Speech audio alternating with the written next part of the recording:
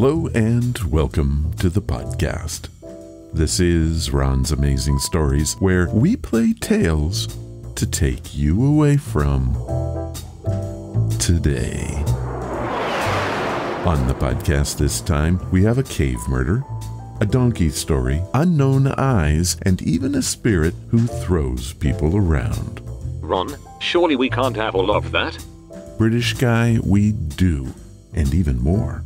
How is that even possible? We like to think big around here. We have the conclusion to our story, The Diamond Thunderbolt, and we end the program with more old time radio commercials. How much are you charging? Not a red penny, or any other color for that matter. Shall we get started?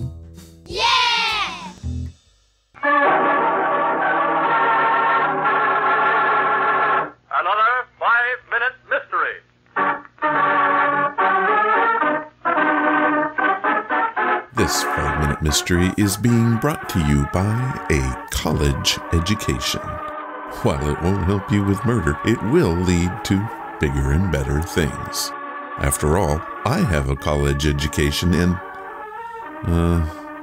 Well, maybe I'm not the best example, but. Oh, heck, let's just listen to this week's story. Story takes place in Green's Gap, a small town in the Southern Cavern District. Green's Gap Hospital, Dr. Melville speaking. Doctor, doctor, there's been an accident out at Echo Cavern. Accident? What kind of accident? Two men was exploring, and they got lost last night. One's unconscious. You better come quick before he's dead.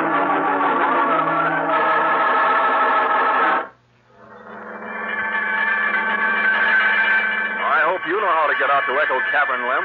Yes, I'll be in town constable and ambulance driver. I reckon I know about all there is to know about this country. Ever been in the cavern, Lem? Once, Doc Melville, when I was a boy. Nearly got my heart hand off of my paw. Echo Cavern's a mighty treacherous place. You mean it's uh, easy to get lost in? Yeah, not only that, Doc. It's that cavern gas, carbon uh, something. Carbon dioxide? Yes, that's it. All of a sudden, you run into some of that stuff, and before you know it, bing, you're out. Still, people seem to go exploring there. More fools you be. I wouldn't go into them caverns. Leastwise, not without a dog. A dog? What for? Well, if a dog keels over, then you know the gas is collecting. I'm afraid, Mr. Gatty, your friend is dead. Yeah, poor Patsy. It was from the gas, wasn't it, Doc? That's what it looks like to me. Uh, why did you go in that cavern anyway? Well, Patsy asked me to. He never seen a cave before. How far did you go in? Well, it didn't seem very far, but all of a sudden we lost our way. Where was that? Well, how do I know whereabouts it was if we was lost?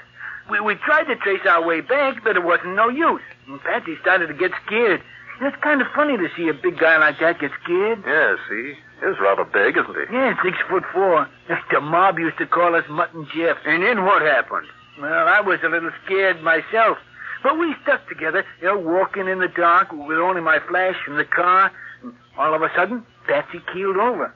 From the gas? Yeah, that's what I figured. His head hit on a rock, and I guess that just about finished him off. Yeah. I suppose you reckon yourself pretty lucky, mister. Yeah, sure. I, I figure it was only because I'm five foot three that I got out of there alive. And the gas must have been just about a foot over my head. Yeah? And what do you think of that, Doc Melville? I think you'd better arrest Mr. Gatty for the murder of his friend Patsy.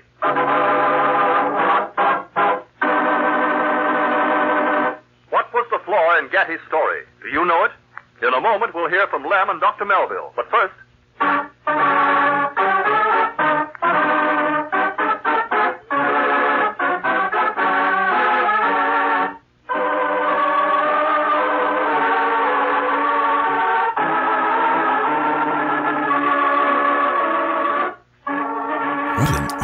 of dogs. I have half a mind to contact the SPCA. The problem is, well, this happened over 70 years ago, and from my research, the practice of the use of short dogs to detect gas has been replaced with short robots. And hey, that's okay with me.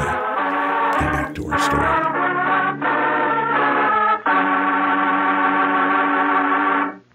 and now, let's see whether you're as observant as Lem and the doctor.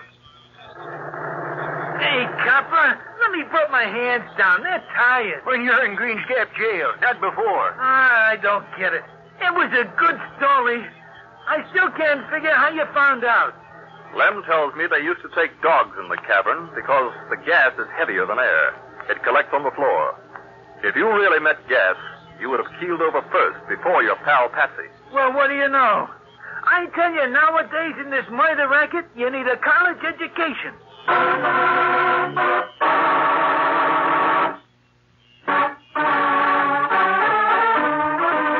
Gas is heavier than air? Not always true. Take, for example, helium.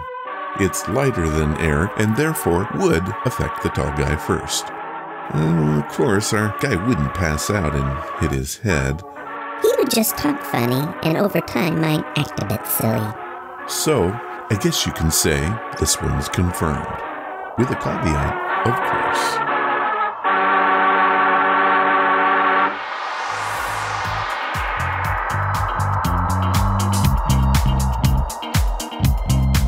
What's that you say? A couple of you wrote in about the podcast last week. The sound was off in a few places. I do apologize for that. During the interview with Jason, I forgot to start up the support software for my mixer.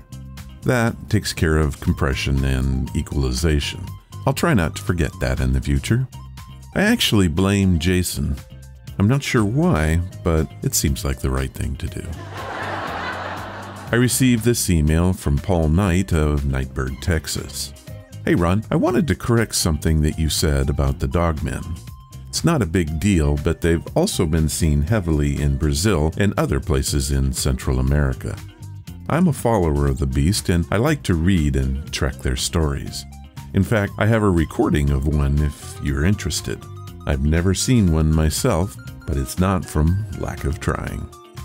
Paul. I wrote Paul back and asked for that recording. Here is what he sent us. Be ready though, because this is quite chilling.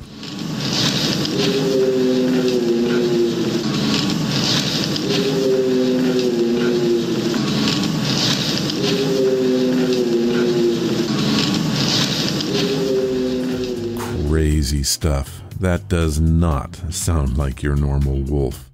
This recording came from a dogman researcher named Davis. It was recorded in upstate New York late one night while researching. Very creepy. Thank you, Paul, for sending that in to us.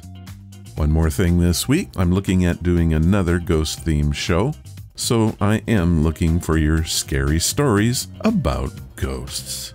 I'm also looking for a co host for this, so if you have any suggestions or even want to apply for the job, let me know.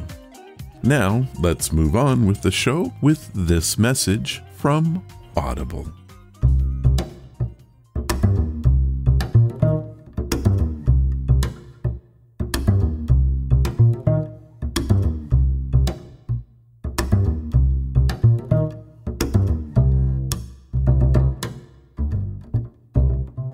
Today's podcast is brought to you by Audible. Get a free audiobook and a 30-day free trial at audibletrial.com slash Ron's Amazing Stories. They have over 180,000 titles to choose from for your iPhone, Android, computer, Kindle, whatever you have. You can definitely listen to Audible on it. So what am I listening to right now? Star Trek The Return, written and narrated by William Shatner. Now, I doubt there are many in this world who have not heard of Star Trek, or William Shatner for that matter. This story takes place right after Captain Kirk met his death at the hands of Professor Soran. The planet Veridian 3 has been saved, but the USS Enterprise 1701D lies in ruin, and one of the galaxy's greatest heroes rests beneath a simple cairn of rocks on a lonely hillside. The story opens with Spock coming at last to the grave of his best and dearest friend. Here is a bit of Star Trek The Return, as read by William Shatner. On the horizon, the last radiant spike of the dying sun flared, then vanished behind a distant peak. Overhead, stars emerged from the deepening twilight. Far away, Riker saw Spock bow his head as if lost in memory. Riker, go ahead. Commander Riker, this is Kilborn. We're... For a heartbeat, the static cleared, and Kilborn's distraught voice cut through the Veridian night. Can't tell where they're coming from. Two shuttles gone. We need... Riker tapped his badge again. Riker to Ambassador Spock. A moment passed. Then the deep, familiar voice answered, Spock here. Ambassador, there appears to be some trouble at the salvage site. I'm going to have to ask you to remain here while I beam back to check the situation. Of course, Commander. What is the nature of the trouble? I'm not sure. It almost sounds as if they're under attack. Spock said nothing more. Logically, there was nothing more to be said. Riker to transporter control, beam me to the salvage site. In the cool tingle of the transporter effect, the grave site shimmered. And then Will Riker beamed into hell. Shatner does an excellent job of telling this incredible story. It has Borg, unholy alliances, and their ultimate weapon is none other than James T. Kirk, resurrected by a mysterious alien science. Why? To destroy the Borg's most formidable enemy, Jean Luc Picard. Old friends are reunited and ancient secrets revealed as Riker, Spock, Data, and all of the Federation's best and brightest find themselves entangled in a cosmic saga that will test their strength and loyalties to the very limit. Does this sound like a story you want to hear? You can have this audiobook for free today. Here's what Audible has set up for us. Audible is offering a free audiobook and 30 days to give you the opportunity to check out their service. To download your free audiobook, go to audibletrial.com slash Ron's Amazing Stories. Again, that's audibletrial.com slash Ron's Amazing Stories, and you can get Star Trek The Return today. Thank you, Audible. And now it's time for your stories. These are your stories, sent by you, for you.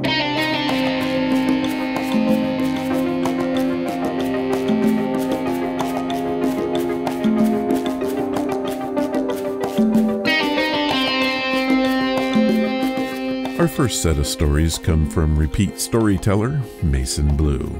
We first heard from Mason way back in episode number 334. He told us a story about how he was outfoxed by a pack of coyotes. It's a pretty funny story, and if you've not heard it, I highly recommend that episode. Mason Henry Blue. First, let me say that I didn't believe the name either until I had the pleasure to talk to him on the phone one day. He is about as real down home country as a man can get. Here is more stories from a true American cowboy.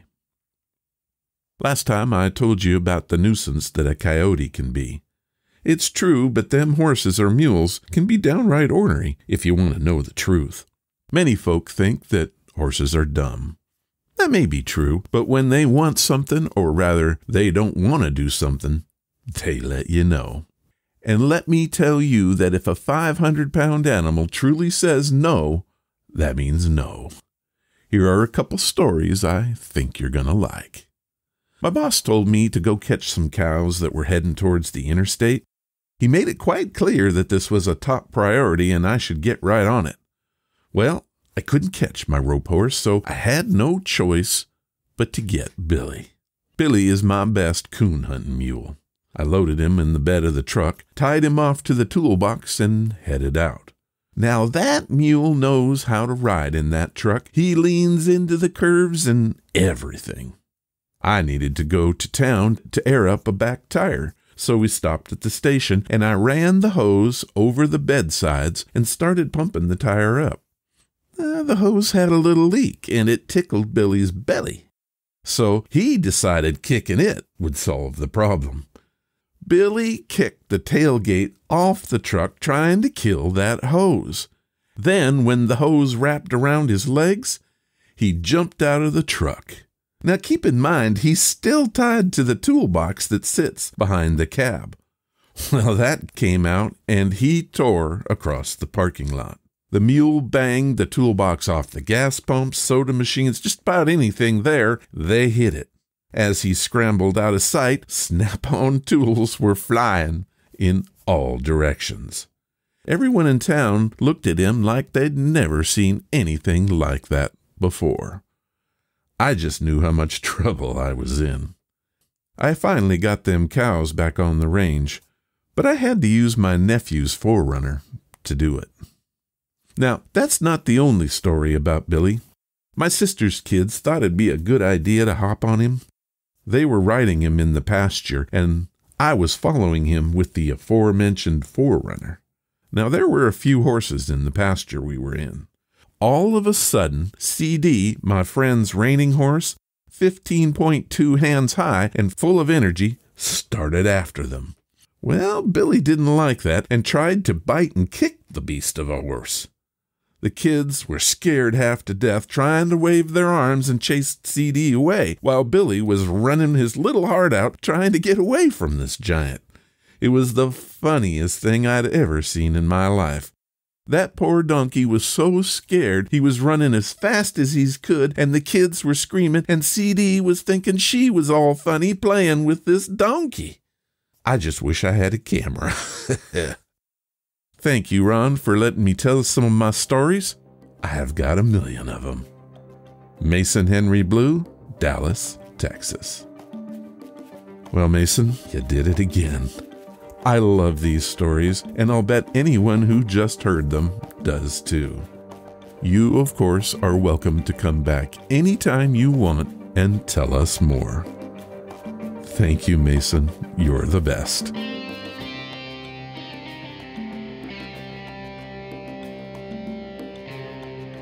This next story comes from our very own Cody Appadale. Cody has sent in stories and has read some classic science fiction for us as well. Here is his story that he calls Unknown Eyes. I worked as an electrician for a little bit. Since I was just starting, I got to apprentice under a journeyman. We'll call him Joe for this story. Joe and I got to do some retrofitting for an old courthouse. They were upgrading their heating and cooling. Our job was to get power from the main panel in the basement to a new panel on the second floor. The basement was cramped and full of useless equipment. It contained a small portal that led into the crawl space. This portal was lined with pipes that left very little room for someone to crawl through. I, being of a thinner build, got to be the one to shimmy through. The space was the awkward height of being too short to stand, but not necessary to crawl either. The walls were concrete, making cave darkness a real thing. With my headlamp on, I delved into the depths of the crawl space to go around to the section where we needed to feed the conduit through the wall and up through the floor. I took the measurements we needed and yelled them through the small hole to Joe on the other side. To save the battery on my slowly dying headlamp, I would sit in almost complete darkness until Joe asked for the next measurement. After we were both satisfied, I crawled back into the depths of the black. As I rounded the corner, I froze as my headlamp caught two red pinpricks of light on the far side of the building. The next instant, they were gone. I held my gaze to that spot as I cautiously made my way to the center of the portal that held the path to exit. I exited feet first into the main basement. I swear I saw those eyes peering at me again from around the corner. To say that I was relieved to be on vacation when the conduit was installed is an understatement. Cody Appadale. Well, Cody, thank you for your story. I guess my first thought would be simple rat encounter, but somehow I get the impression that those eyes meant a bit more to you than rodent infestation. Creepy place that I'm sure I wouldn't want to go into either. I'm reminded of when I was working for a computer networking company in the late 1980s. I was a poor college student at the time and needed some cash. We were hired by the city of Vancouver to wire Ethernet cable throughout the building. I, being the young guy, had to run the cable through the cramped attic. Pulling cables through conduit is a long and painful job. I was getting tired and my knees were killing me. I stood up for just a minute, but I didn't watch my step. My foot went right through the ceiling and kicked a poor fireman in the head who was showering at the time. Not one of my better moments. Fortunately, no one was hurt other than my pride. Thank you again, Cody.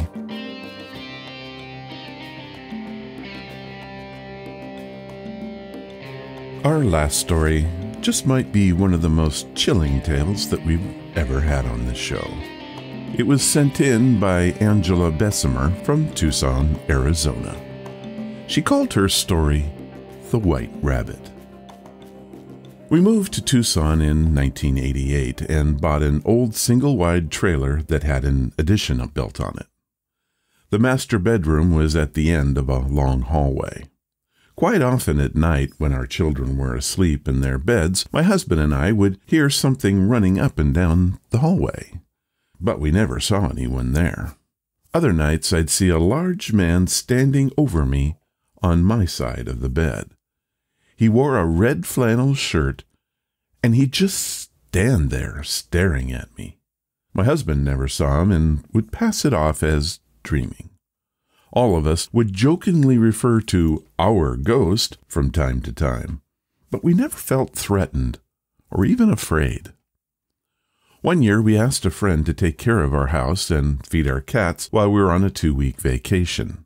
We were horrified upon our return to find cat poop, cat food, and salt strewn all over the house.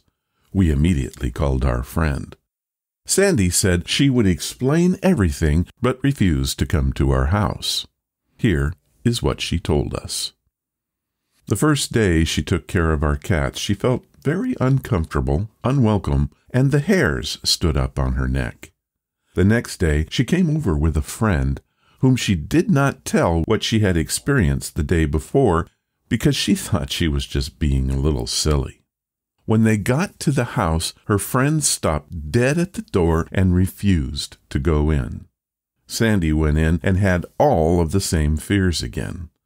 Later, her friend said that there was an evil presence in the house that did not want them there, and she knew someone who would know what to do. That person advised that they spread salt around the inside perimeter of the house, light sage sticks, and tell the spirits to move on. They did everything they were told, and things seemed to calm down. After a few days, Sandy was in the house when she heard a growl. It was angry and sent chills down her spine. The growl turned into a voice that said, What right do you have in here? She ran for the door, but never made it. She found herself floating in mid air and then thrown against the mantel by the door. She got up and made her way outside. She never went into the house again and simply tossed food to the cats. About a year later, we decided to sell the house. Our real estate agent was repeatedly told that potential buyers just didn't feel comfortable with the house. One lady came over with her infant and her mother in law, and the infant started screaming as soon as they walked into the house. When they walked out again, the baby stopped crying. At that point, the mother in law took the child, went straight to the car, and yelled at her daughter in law that it was time to go. That was the final straw for me. I went back into the house and yelled that we were moving regardless of what he wanted. That was our decision, and if he wanted to go with us, that was fine, but he had to quit interfering with the house sale. Two days later, we had a cash offer on the house and moved out. I've heard spirits can attach themselves to tangible objects. I think that's what must have happened with a stuffed white rabbit that belonged to my daughter. I ran across it while we were packing. For some reason, it seemed different to me, and it felt like we no longer needed to keep it. I decided to give it to a friend who had a new infant granddaughter living with her. About six months later, I asked about the stuffed rabbit and if her granddaughter liked it. She told me that it was the weirdest thing. But every time she put the rabbit near her grandbaby, the child would start screaming and crying. In the end, she said, we just threw it away. Angela Basimer, Tucson, Arizona. Angela, I've heard stories like this before, and each time I do, I get chills as I read them. To think that the spirit world can cause physical damage? That scares me. Thank you for your story, Angela. It truly is one of the most frightening I've ever heard.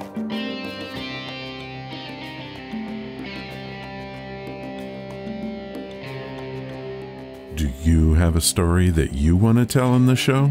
If you do, we want to hear it. It can be about any subject and from any genre. Heck, it doesn't even have to be true.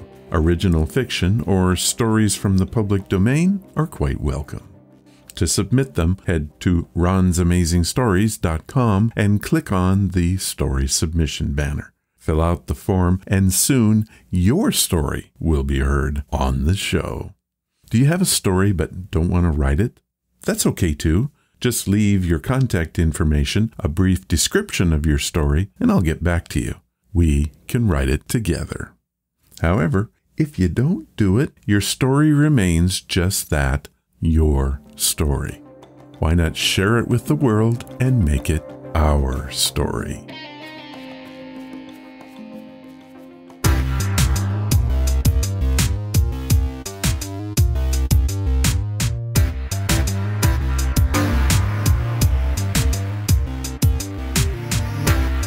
Our featured story for this week comes from the pages of Astounding Magazine, July of 1931. Stoddard found something on a Himalayan mountain that no one expected an incredible storehouse of diamonds, a madman, his crew of Yeti like creatures, and a plan to rule the world. Last time, we left Professor Norman Prescott and his guide Jack Stoddard facing off against Russian Cossacks in Texas. Here is the conclusion to the Diamond Thunderbolt, read for us by James White. Astounding Stories 19, July 1931. The Diamond Thunderbolt by H. Thompson Rich, Part 3. Two hours later, they were back at the rocket. Led into the shack, which was furnished inside like an oriental hunting lodge, they were confronted at once by Prince Kraznov.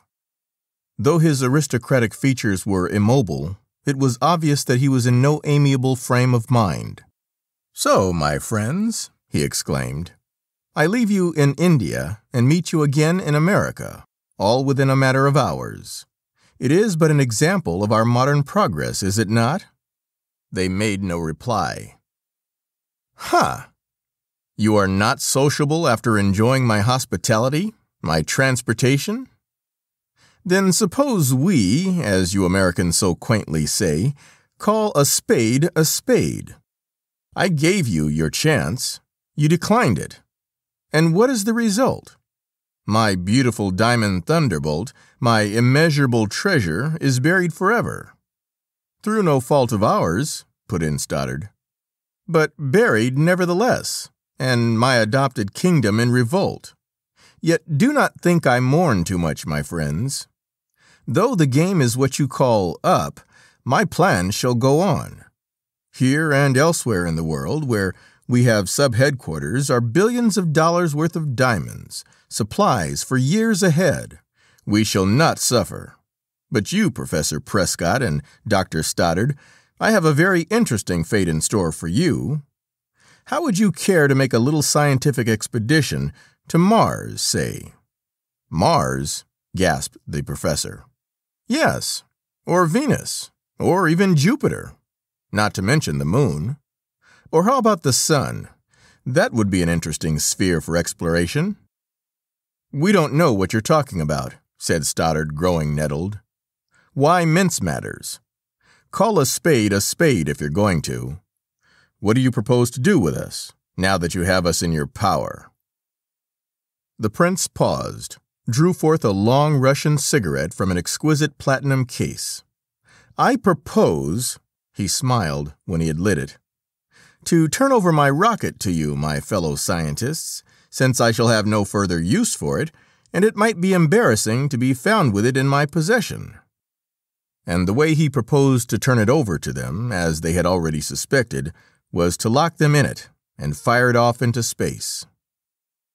Within the hour, the man's diabolical plan had been put into operation. Led to the rocket, the luckless pair were locked within a small metal room somewhere within its recesses. There sounded again the peculiar rasping that told him its doors were being sealed, and then came the roar of that mighty exhaust beating down.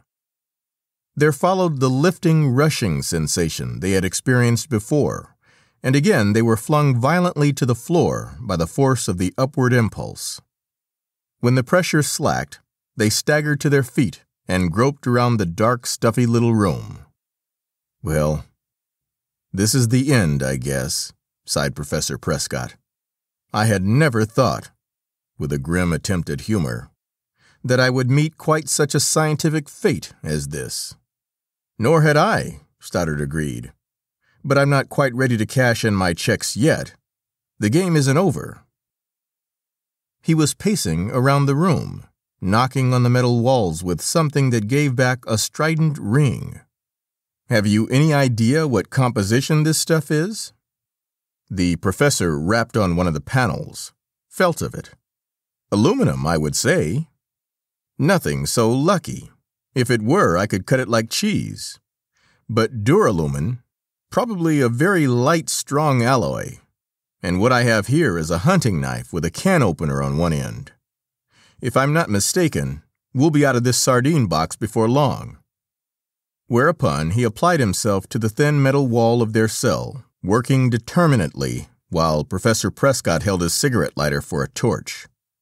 You see, duralumin yields to heat like aluminum, he exclaimed, as finally his knife thrust through. Now then, let's get the can opener working. The progress was slow but sure. Within an hour, he had cut out a jagged section some two feet square, through which they squeezed into an equally dark corridor. Now then, Stoddard's mood was exultant. There must be switches around here somewhere. There were lights, I remember, so let's find them. Once we get a little light on the subject, here, called the professor, who had groped down the corridor with the cigarette lighter. How's that? As he pressed a switch, a row of small bulbs glowed overhead. Fine, was the answer. Now let's see if we can find the engine room, or whatever they call it. Jubilant now, they continued on down the corridor, which ended in a flight of stairs. I fancy it must be below, said Professor Prescott. From what I've seen of experimental models, the propulsion impulse must originate from the base. So they descended the stairs, entered another dark corridor, found another switch, and pressed it. And thus they proceeded, lighting the interior of the rocket as they went. And as they descended, the roar of the exhaust increased in volume, indicating that they were nearing its source. Presently they entered a large circular room with an illuminated dial at the far end. Drawing near, they saw a confusion of instruments that for a moment left them dazed. While Stoddard studied them in bewilderment, Prescott circled the room till he found a switch. Pressing it, he produced a brilliant flood of illumination. Now then, let me have a look at this, he said, returning to the dial. Professor Goddard once explained to me the workings of one of his experimental models. The motive force must be some liquefied mixture, possibly oxygen and hydrogen. Some of these instruments, most of them in fact, must be valves. He touched one, turned it, and the rocket responded with a sickening burst of speed. No, that won't do. We're going plenty fast enough now. He touched another, and they slacked off dizzyingly. Well, there are two controls anyway. Now then, how do we steer this thing? That is the next problem we must solve. But though he touched this instrument and that, Producing weird effects, their course continued in the direction set. And meanwhile, they were hurtling outward through space at a rate of speed he knew would presently carry them beyond the gravitational pull of the Earth. Then, as he grasped and swung down a curious lever that worked in a quadrant, they felt a violent lunge to the left, and for a moment it seemed they would shoot to the ceiling. Good God! gasped Stoddard. What's happened? Nothing. Only that I found how to steer this wild steed, cried the professor exultantly. It was really quite simple, he explained, as he eased up on the lever. In application, it was a development of the gyroscope principle that a wheel revolving freely within a freely suspended frame tends to make the frame revolve in the other direction. You see, the rocket is the freely suspended frame, he went on, while this lever controls a gyroscopic wheel somewhere.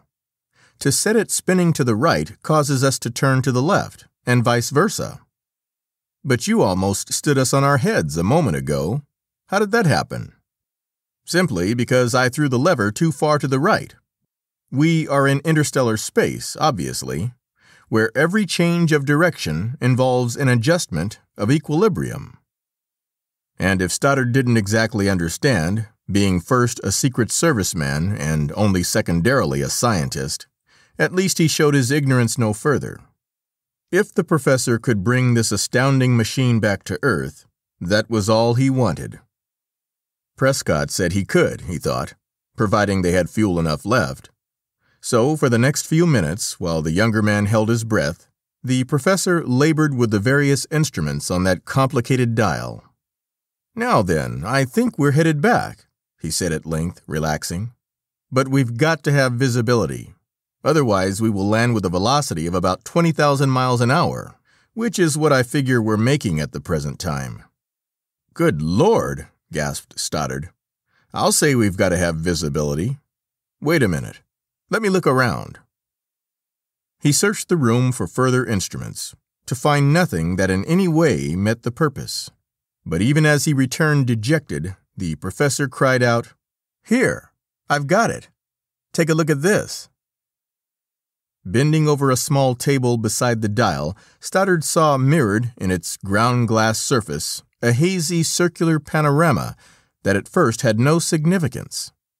But as he continued to peer down upon the scene, certain familiar aspects loomed out. It was the Earth, and what he was looking at was a view of the North and South American continents. For some moments, Stoddard stared at this amazing panorama in silence saw it grow rapidly clearer as the careening rocket plunged like a giant shell toward the earth. My God, he whispered at length in awe. Do you think you can ever check our speed? I think so, the professor replied, busy over his instruments. But where do we want to land? How do we know what state we were in? Whereupon Stoddard told him of that Texas license plate. But we don't want to land anywhere near that fiend Krasnov, he added, with a shudder. I suggest, if it's possible, that you pick out some aerodrome, preferably in the western part of the state. For if I remember my geography, Texas isn't mountainous in the east. I will do the best I can, said Prescott grimly. There followed tense minutes as the panorama in that ground glass narrowed and grew more intense. Now they could see only North America, now only the United States and a portion of Mexico, and now only Texas. Back, back, cried Stoddard as the rugged land loomed up, spread into a panorama of towns and ranches. We're descending too fast. We're bound to crash, unless. But already the professor had touched the ascending valve and swung the steering lever. Up they zoomed again once more, a portion of Mexico was visible on the glass, and all along the international border now they could see a winding thread of silver. The Rio Grande! exclaimed the young geologist. Just follow it up toward its source till we come to El Paso. There'll be a landing field there.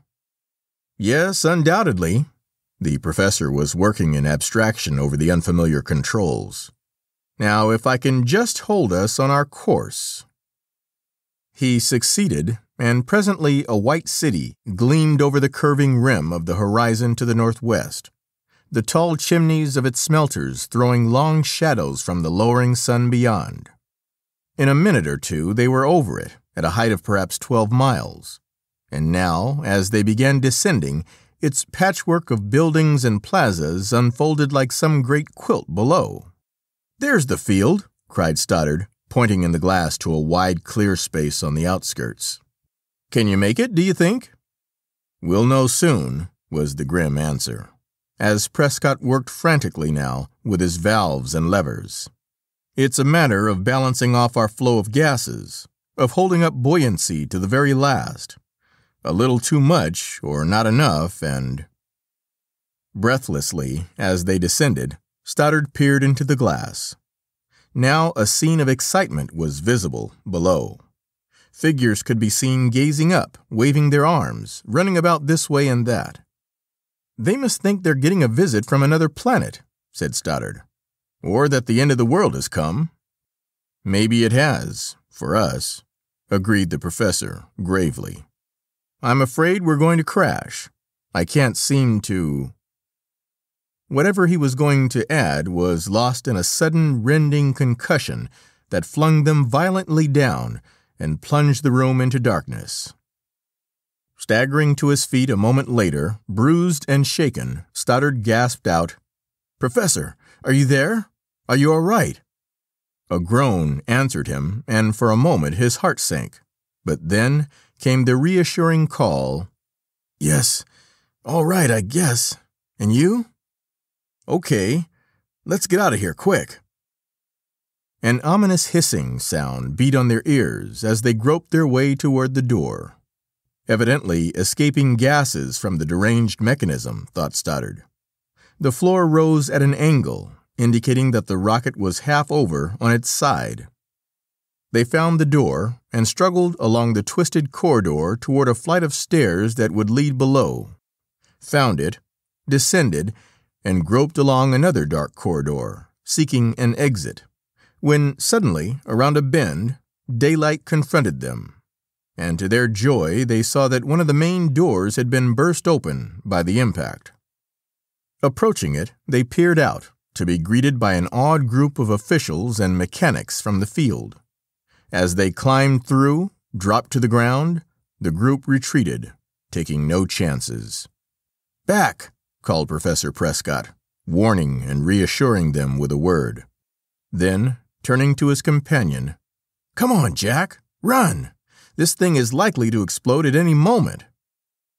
Following this advice, Stoddard raced from the rocket with the rest. At a safe distance, he turned and peered back to see it standing there at a crazy angle, dust and fumes issuing from under it in a blast that was hollowing a deep crater to the far side. Even as they looked, the strange craft quivered, tottered, and fell over on its side, and the next instant was enveloped in a blinding sheet of flame that brought with it a dull detonation and a blast of dazing heat. The party backed still farther away. A nasty mixture, oxygen and hydrogen, muttered the professor, feeling of his singed eyebrows. We got out of there just in time, Jack.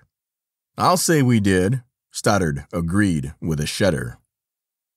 By now, the higher officials of the field were on the scene, among them a number of army men. Curiosity ran high, not unmingled with indignation. Who were these strange visitors? Where had they come from? What did they mean by endangering the lives of everyone with their damned contraption? Inquiring for the commandant, they were taken to him. Major Clark Hendricks, USA, and Stoddard briefly outlined their astounding story, producing credentials, whereupon a squadron of fast military planes was assembled. From the way they described the mountainous region where the rocket had first landed, mentioning the town Martin's Bluff that Henry of the ancient Ford had named, the major declared that it must have been the Guadalupe Mountains, a hundred miles to the east. And sure enough, a government map showed such a town there. So it was that presently the squadron lifted into the late afternoon skies with Major Hendricks in the leading plane, accompanied by the two weary adventurers. Swiftly the squadron winged eastward. They reached the mountains in less than an hour, and circled them in search of that little wooden shack which Prince Krassnov and his Cossacks had made their rendezvous. It was like finding a needle in a haystack, and for a time Stoddard despaired of success. But those rugged mountains were an open book to the planes circling high overhead, and with Martin's Bluff once located, the rest was not so hard. At last, as twilight was falling, they found the shack and brought their planes to rest near it. But as the party approached the shack, after posting a heavy guard over their planes, they saw that it was deserted. This, after all, was only what Stoddard had feared, but nevertheless they forced their way inside. And there, had Major Hendricks had any doubt of their story, it was dispelled. As Stoddard had told them, it was furnished like an Oriental hunting lodge, with evidences of the recent occupation of the Russians on all sides. But where were they? Had they got away, or were they hiding somewhere? Proceeding from room to room until they had searched it thoroughly, the party paused baffled. But not for long, for suddenly Stoddard discovered something that gave him a clue. It was a barred door within a closet, covered over with clothes and uniforms so as to be fairly well concealed. On battering it in, they found that it led into a passage below. As the party entered the passage, leaving further guards above, it became obvious that what they had found was the shaft of an old mine. It led down abruptly for a while, then more gradually, with many windings and twistings, and ending presently in another barred door. This they in turn battered in, to be greeted suddenly by a volley of rifle fire that dropped three of them in their tracks. Stoddard was one of those who fell. Bending over him, Professor Prescott lifted up his head. Jack, he called, where are you hit? Answer me. I. It seems to be in the shoulder, came the weak reply. If you've got a handkerchief. The professor produced one and staunched the flow of blood as best he could, working with the aid of his flashlight. Meanwhile, ahead, the crash of pistols and rifles continued to split the stillness of the passage as the attacking party pressed forward. There, that does it, gasped Stoddard at length. Help me up. I'll be all right. Prescott steadied him to his feet. They continued on. Now the firing ceased, and in a moment Major Hendricks appeared at the head of his party. Well, we've got them, he said, saluting Stoddard. How are you, old man? All right, was the gritted reply. Let's have a look at them. A flashlight was swept across the stolid group of Cossack prisoners. But as Stoddard peered into one face after another, he realized that Krassnov was not among them. You haven't got the leader, he said. See here, you birds, he addressed the Cossacks. Where is he, eh? If they understood, they gave no indication of it, but shook their heads sullenly. Well, damn it, we'll find him. Stoddard wheeled and strode past them. Give me three or four men, Major. I'll smoke out that Russian bear. He must be here somewhere. Hendricks sent the main body above with their prisoners and gave him the men he wanted, putting himself at their head. You'd better go on up too, Professor, said Stoddard, addressing Prescott. You've risked enough in my behalf. But the older man shook his head. No, I'll come along if you don't mind, he insisted. I want to see the end of this thing. It was an end that came with dramatic suddenness. Pausing before a barred door some fifty paces down the passage, they were debating what their next move would be, when suddenly it was flung open. Come in, gentlemen, came a suave, ironical voice. Sorry my servants were so uncivil. In the glare of light from beyond, Stoddard and the professor saw that it was Prince Krasnov. He stood there, unarmed, smiling. Is this the fellow? rasped Major Hendricks, his automatic leveled. It is, said Stoddard. Slowly, cautiously, they followed the man into the room, which in reality was merely the end of the passage sealed off, though its walls were richly paneled and it was luxuriously furnished. Pausing beside a small, heavy table, he swept his hand over it, indicating a heap of rough diamonds that must have represented millions. Merely a fraction of my treasure, gentlemen, he told them with a deprecating shrug. I hadn't quite finished storing away the last shipment when you interrupted me. He strode to one of the walls, drew out a small drawer from a built in cabinet, and dumped its glittering contents on the table with the rest. All around the room, Stoddard noted as he stood there swaying, were other cabinets dotted with the knobs of similar drawers. And this, gentleman, is but my American sub headquarters, the prince went on.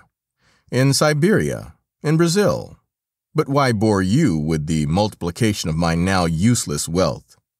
Tell me instead, my good friends Professor Prescott, Dr. Stoddard, how come you back here after I saw you safely on your way earlier in the afternoon? Because I happen to have a knack with can openers, and my colleague is rather adept at machinery, Stoddard told him, while Major Hendricks here is quite a hand at geography, not to mention aviation. A question or two, which they answered briefly, and Krasnov had the story. Ah, my poor rocket, he sighed. But it is fate, I suppose. Kismet, as the Turkish say. Still, I deserve a better fate than to be captured by a pair of American professors, when the Secret Service of the world was on my trail. Then cheer up, said Stoddard, gritting his teeth to keep back the pain of his throbbing shoulder, for I have the honor to represent Washington in this case. At that, the prince scowled darkly for a moment. Then he brightened. Kismet again. I might have acted differently had I known that. But well, I drink to your success, Dr. Stoddard. Whereupon, before they could restrain him, he lifted a vial from a shelf over one of the cabinets and downed its contents. A diamond dust cocktail, he smiled, replacing the vial. The most expensive, even in your country, of costly drinks, and the most deadly. But Stoddard knew, as the doomed nobleman stood there facing them in stoic triumph, that diamond dust in the human system was as slow as it was deadly, and that the desperate gesture had been futile so far as justice was concerned. There would be ample time in the weeks Prince Krassnov of Imperial Russia still lived to round up his international allies and stamp out the remnants of their amazing ring of diamond smugglers. While as for Professor Prescott, he was thinking with what amazement the members of his expedition back on Kinchinjunga would receive the cablegram he would dispatch that night, informing them that Stoddard and himself were safe in El Paso, Texas.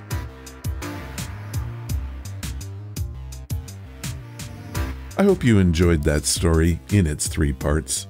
Please send me your thoughts on this because I worry sometimes about playing these longer stories.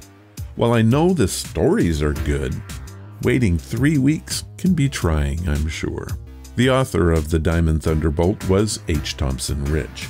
Not much is known about him except that he was born in New Jersey in 1893 as Harold Thompson and passed away in 1974. It appears he mostly wrote for the pulp magazines and is credited with about 24 short stories and novellas. Harold was also listed as being a custom house broker. I have no idea what that is.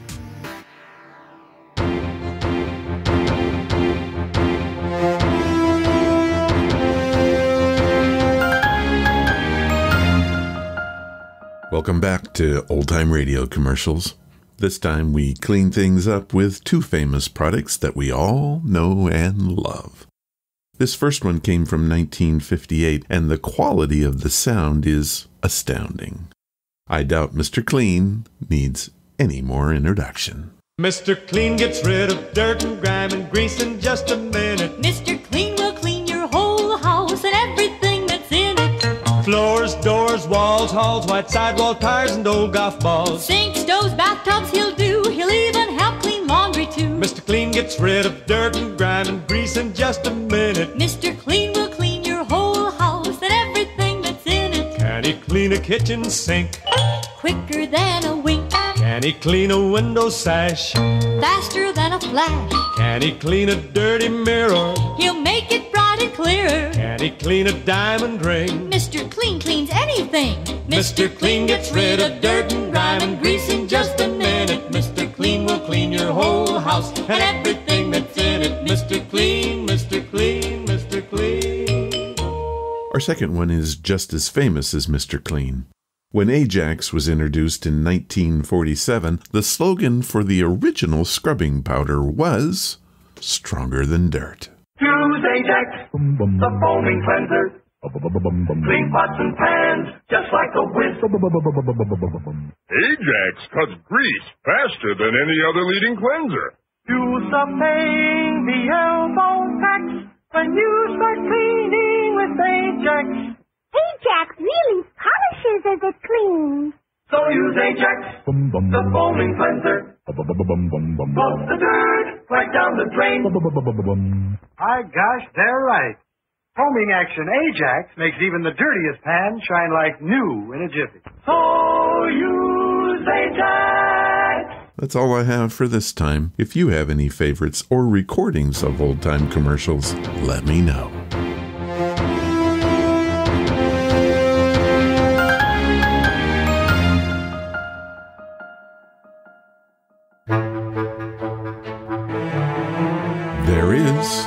Episode number 422. We have some folks that I'd like to thank for this one Paul Knight, Mason Henry Blue, Cody Abadale, and of course, Angela Bessemer. You guys made this show a show. If you want to follow the podcast or the blog, just head to ronsamazingstories.com. There you will find an amazing number of links that should fit every need. Do you want to help the show? The best thing that you can do is to tell your friends all about it. Please leave reviews or feedback wherever you listen. This is what makes podcasts grow. Thank you for listening, and I hope you come again to find out what are Ron's amazing stories. All of the vintage audio used in the podcast is believed to be in the public domain. Ron's Amazing Stories does not own the rights to any of the old time radio used here. If you hold the rights to any of the shows played, please contact us immediately at ronsamazingstories.com.